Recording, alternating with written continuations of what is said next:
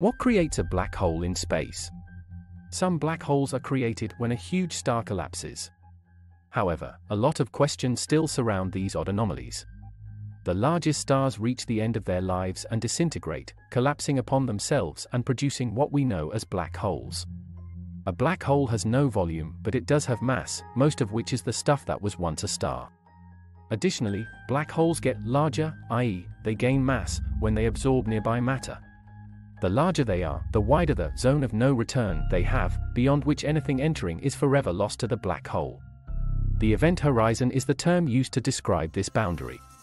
Astronomers believe that these smaller black holes eventually develop into the supermassive black holes observed at the centers of most large galaxies by expanding and consuming material such as planets, stars, errant spacecraft, and other black holes.